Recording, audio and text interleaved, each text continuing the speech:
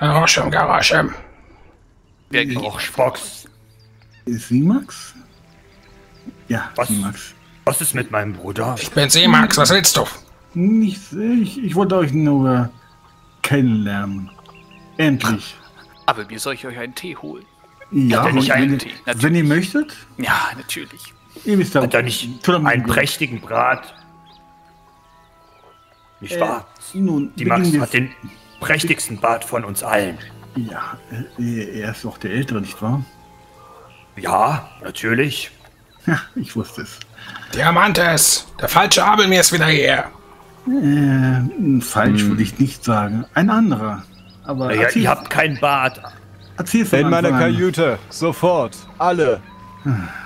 Jetzt geht das wieder los. Nun, ein Abel ist besser als kein Abel mir nämlich. Kapitän, ihr wisst ja, ich habe, ich habe fleißig gebetet, seitdem unser Abelmir, seitdem unser Abelmir verletzt wurde. Ich habe fleißig Macht die gebetet. Tür zu. Ja, natürlich, natürlich. Aber ihr hattet Was gefragt, was passiert war. Was fällt euch eigentlich ein? Hafen. Ihr könnt doch nicht einen solchen Tumult vor den Ka äh, Was sollen denn die Männer denken? Die Moral ist sowieso schon im Arsch. Nun, vielleicht beginnt ihr am Anfang an. Was passiert ist an diesem Tag und äh, was genau mit mir passiert ist vor allen Dingen? Wir lagen im Seelemer Hafen. Ich kann nicht genau sagen, was passiert ist, aber es war spät nachts, fast schon in den Morgenstunden. Ich kam von einem Ausflug in die Stadt zurück und kam an eurer Kajüte vorbei. Die Tür stand offen und ihr lagt in eurem Blut. Das klingt nicht sehr hoffnungsvoll. Erzählt weiter. Na Ja, Nun, Findet ihr es etwa lustig? Konntet ihr den Täter festmachen? Wie, wie, äh, wie sollten wir das tun, wenn Abelmir nicht mehr da ist? Mit diesem Haufen? Nun, ich habe ihn verfolgt in die Stadt. Und und hatte dabei selbst fast noch das Leben. konntet ihr ihn zuordnen? War es ein Nachtwind? nein. Was sollten Nachtwinde hier auf von dem einem, Schiff? von einem einfachen Nachtwind nach Abelmir. Jetzt scherzt ihr aber. Ich meinte nicht den Vogel, sondern ihr wisst ja, diese Magier, die Magier jagen. Ja, die hat Abelmir gefrühstückt, hat er die. Nun, wer oder was plante, mich zu ermorden und war dabei erfolgreich? Konnte ihr das herausfinden? Naja, Darion Paligan vermutlich. Also Abelmir war ja allen, allen, äh, allen Widersachern ein Dorn im Auge. Vielleicht haben sie es sogar zusammengetan. Dann jetzt krieg ich ihm nicht so in den Arsch. Das ist ja furchtbar. Na, naja, jetzt haben wir wieder ein Abelmir, dann sollten wir ihn da vielleicht auch in, in, nicht direkt wieder äh, verjagen. Das tust du schon ganz alleine. Wir sollten ihn am besten hier behalten. Das auf jeden Fall. Vielleicht könnten wir das Ganze auch ein bisschen dezenter tun und nicht so äh, auf diesem zwergischen Weg immer. Was heißt hier auf dem Verdammt zwergischen nochmal, Weg immer? es reicht. Ich bin eure elenden Diskussionen leid. Wir sind am Arsch. Äh, Abelmir äh, war unsere einzige Hoffnung. Er, er, er hat den wahren Namen der ja, Plagenbringer nirgendwo aufgeschrieben. Er ist mit dir gestorben in seinem Kopf. Ach, ihr sucht Und- den wahren Namen. Nun, damit Dass könnte ich du euch... jetzt hier auftauchst, ist ein Witz. Nun, ich könnte euch eventuell damit aushelfen. Du hast den wahren Namen. Er hat, aber, aber es macht Sinn. Er hat in den, äh, in unter den Aufzeichnungen von Abil mir lesen können und sie entziffern. Vielleicht bist du uns ja doch noch von Nutzen. Angrosch hat ihn zu uns gesandt in unserer Stunde der größten Not. Und Angrosch sagte schon immer, ein gutes Stück, das geschaffen ist, muss genutzt werden. Ein Hammer ist erst dann gut, wenn er auf den Amboss prischt. Nicht wahr?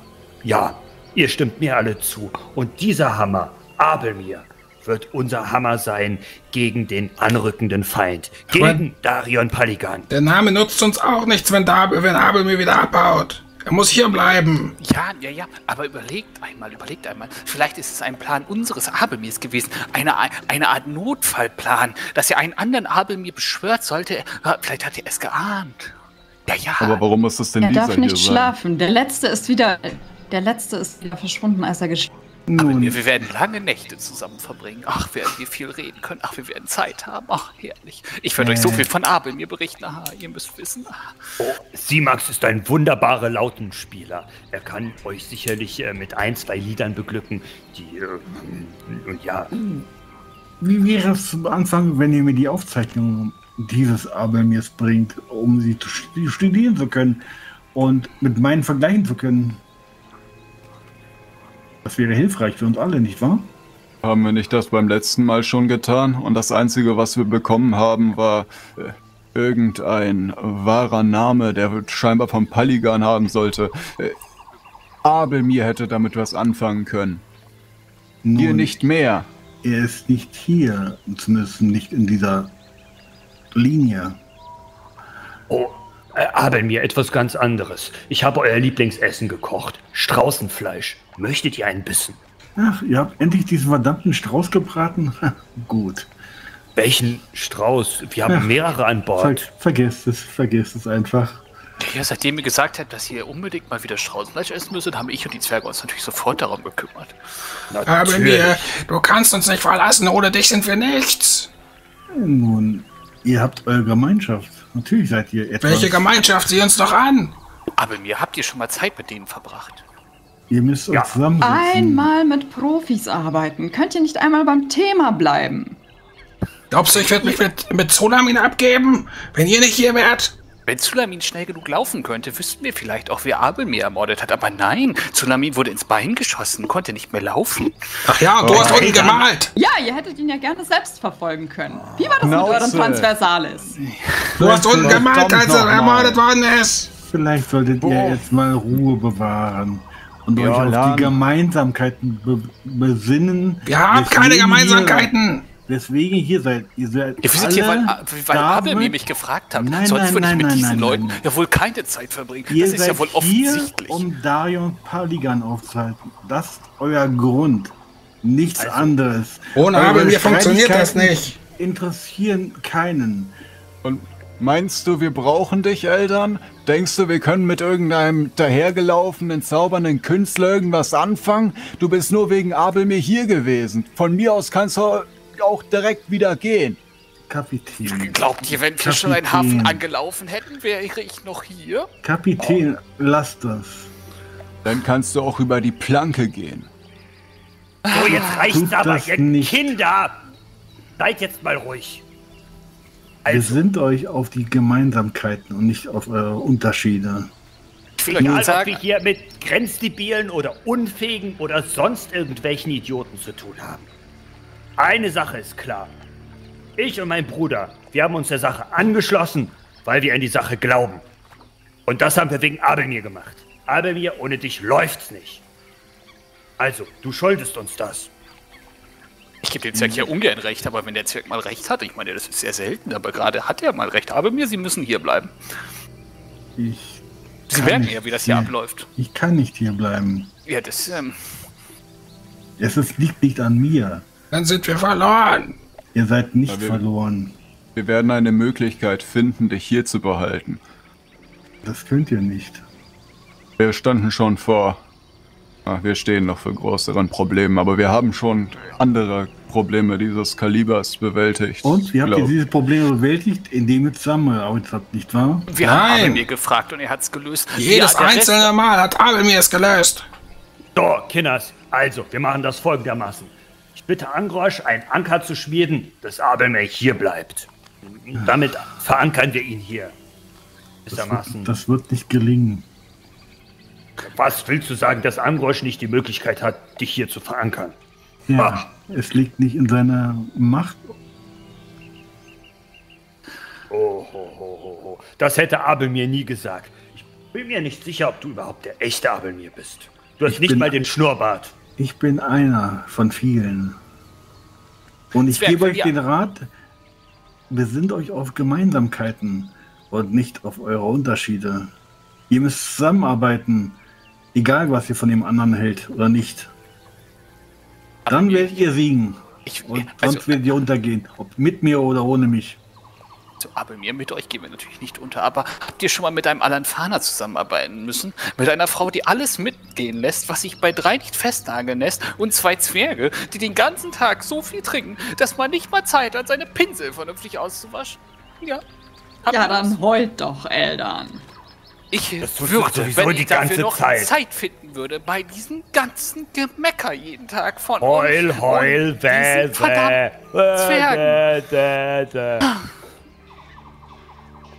Ich glaube, ihr werdet nicht gewinnen, so wie ihr euch Abelmir, seid wie kleine Kinder. ein Ruck geht durch dich, als würdest du gestoßen worden sein. Vielleicht von einem Rafim.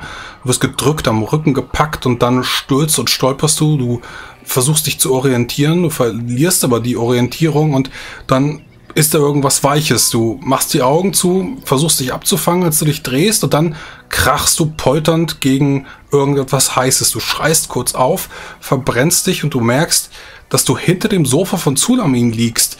Die Schale mit, den, mit dem Glut und dem, dem Feuer ist wohl gerade etwas umgestürzt und du kommst gerade wieder zu dir. Sulamin? Abelmir, um Himmels Willen. Sagt, welches Jahr haben wir? 1031. Abelmir, äh, nicht, dass der Teppich brennt. Ja, Wartet, ja. lasst mich. Aber mir, du bist so ungeschickt. Abelmir, bist du vom Sofa gefallen? Er muss eingeschlafen sein. Nein, es, es, es, es mehrt sich. Die Zeitverschiebung, die Dimensionsverschiebung, sie nehmen zu. Ich muss bald vollenden, sonst geraten die Dimensionen völlig durcheinander. Ja, Ist alles in Ordnung? gut. Nein, es ist nicht in Ordnung. Ihr wirkt so Ich traurig. habe, ich, Das hat habe, ihn erwischt, wie es scheint. ich habe den anderen Abel mir nicht getroffen, aber seine Gefährten, die stritten sich und er war tot. Ich war tot. Oh nein. Das muss ein großer Schock für euch gewesen sein. Nun, ein größerer Schock war es, wie sie sich stritten, wie Kinder. Naja, Abelmir, aber du hast doch gesagt, ich bin da gar nicht, ne? Du, Ja, dann kann warst, es. du warst nicht dort, aber ein Gefährte aus alten Zeiten war dort. Eldan der Maler. Abelmir, wenn ich nicht bei der Reise dabei bin, was ist denn das für eine Reise? Ja, und Simax war auch dort. Was? Ja, Und dann war es bestimmt wunderbar. Nun, er war, ihr wart kein Geole, ihr wart Priester des Angrosch. Ja, ja, das äh, wäre wohl aus mir geworden, wenn sie Max nicht gestorben wäre. Habe ich euch das nie erzählt? Ja. Sie sind wohl verloren. Die können nicht gewinnen, wenn sie so zerstritten sind. Es, es nimmt zu. Wir müssen es beenden bald. Sonst. Ich weiß nicht, was dann passiert. Naja, also wenn ihr Hilfe braucht, sagt Bescheid. Ich habe mich schon gefragt, warum du heute so lange geschlafen hast. Und haben wir immer Ja. diese Verabredung mit Tuberek? Ja, ich hätte euch gleich wachgetreten. Na gut, dass ich wach geworden bin. Äh, Ja, das kommt drauf an, ob man euch gerne wachtritt. Verzeiht die Flecken, Brandflecken im Teppich. Ach, Das, das ist nicht weiter schlimm. Ich war nur kurz in Sorge wegen dem Schiff. um es mit Rafims Worten zu sagen, dieses Schiff wird sowieso in drei Wochen untergehen. Also was sollen ein paar Brandflecken auf dem Teppich? Nun, es ist zumindest ein guter, eine gute Erkenntnis.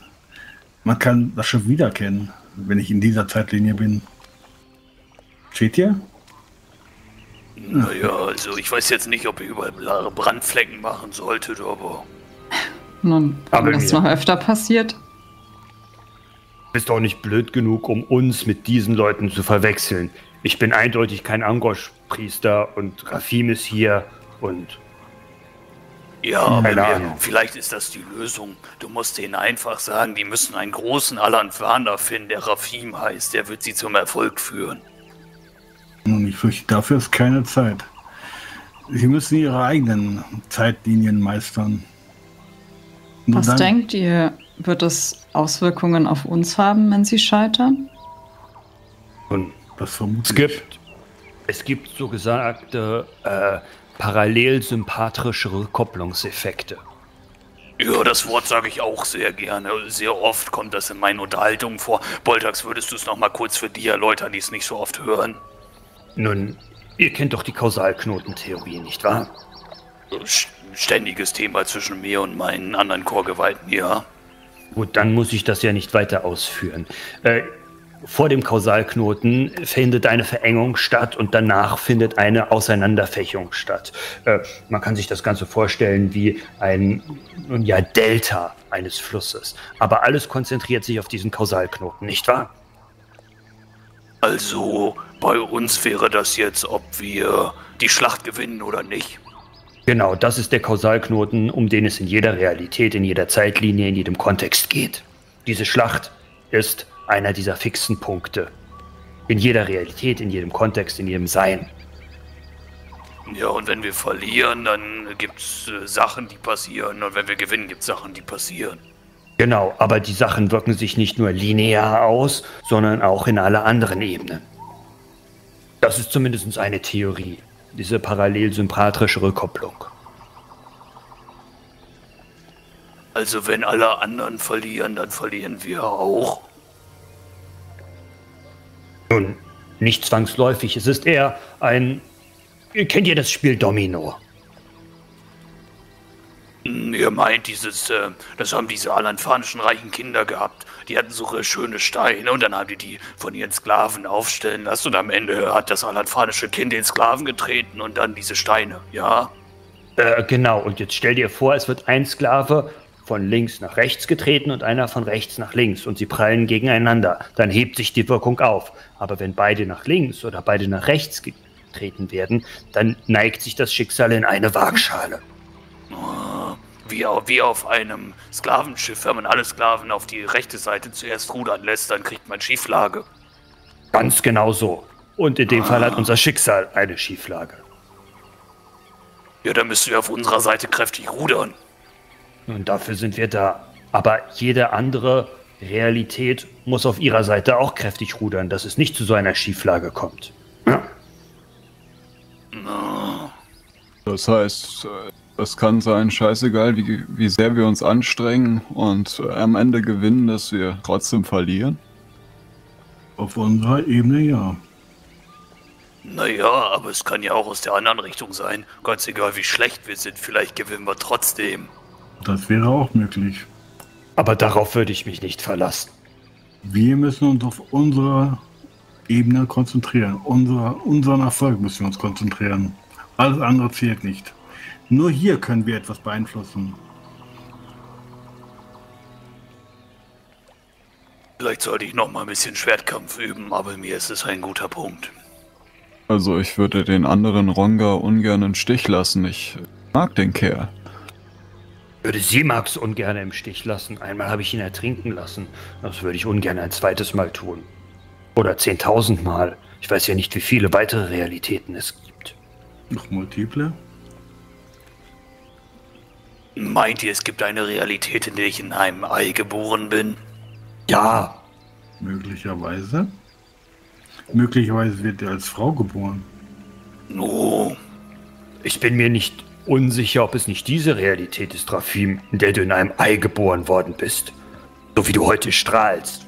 wenigstens sagt mal einer, was wir alle denken. Aber gut. Halt mal Ausschau danach, Abel mir. In Ordnung. So, und wir sollten zu diesem Magier zum Kaffee trinken gehen. Tee, Tee. Fühlt ihr euch denn gut genug, Abelmir? Ihr solltet Nein. in Oh, euch in euch ruhen, wenn wir dorthin gehen. Lieber kommen wir ein wenig später. Was macht das schon aus? Wir sollten ihn nicht warten lassen. Meine. Mein Zustand ist nicht wichtig. Naja, Abel mir sagt das ja nicht häufig, aber ich glaube, wenn ein Mann Geduld hat, dann dieser. Ja, nur haben wir keine Zeit. Wie unsympathisch, dass ihr damit recht habt. Ja. Seltsam, wie das Schicksal manchmal spielt. Manchmal hat man zu viel Zeit und am Ende rieselt sie ein wie Sand durch, durch seine Hand. Nun, aus diesem Grund habe ich heute Morgen noch die Beerdigung unseres Bibliothekars organisiert. Damit wir wieder etwas erledigt haben. No, sehr gut. Nun, Gut. Wie spät haben wir es? Nun, Schau. die Mannschaft ist gerade zu Mittag. Ich schaue auf meine Uhr. Ah. Eine gute Zeit zu Ja, gehen. wenn wir jetzt aufbrechen, sollten wir eigentlich noch pünktlich sein. So brecht ihr auf.